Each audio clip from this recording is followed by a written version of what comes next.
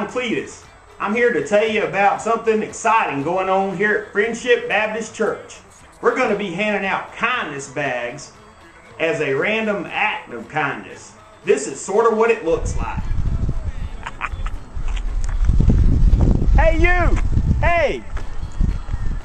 I need to give you this bag of kindness because my preacher said so. I don't have any spare hands. Yeah, sure you do. Forget that stuff.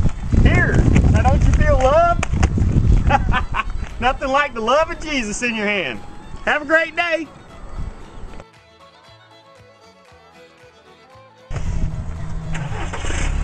Hey, wait a minute. You're not leaving till you feel the love of Jesus.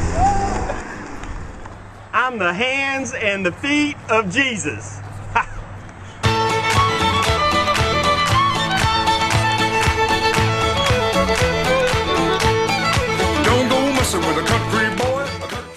Results of bad kindness seen in this video are not typical. Most people will not feel attacked, belittled, or accosted. Try and use good judgment and common sense when distributing bags of kindness.